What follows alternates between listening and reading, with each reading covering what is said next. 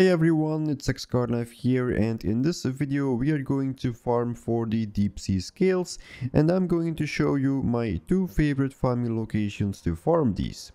Now the deep sea scales itself is basically a rare skill that you will get from killing the sea creatures like fishes or sharks in the Cataclysm expansion but it does require you to have a character with skinning so keep that in mind. Now the first location that I would like to talk about is located in Zul'Gurub over here onto the map and this will also require you to enter the dungeon.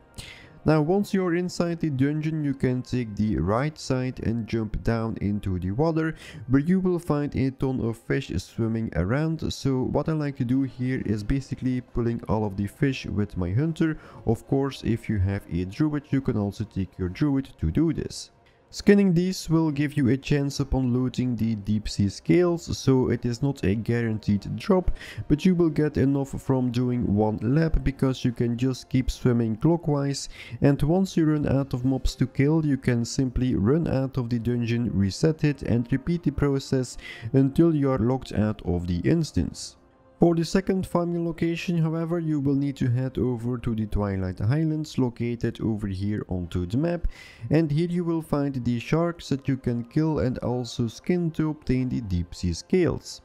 Now here you can also keep killing them in a clockwise rotation so it is super easy to farm them and one deep sea scale can be sold between 15 up to 40 gold depending on your server but usually you can easily get up to 300 skins per hour which will make it a total of 10,000 gold.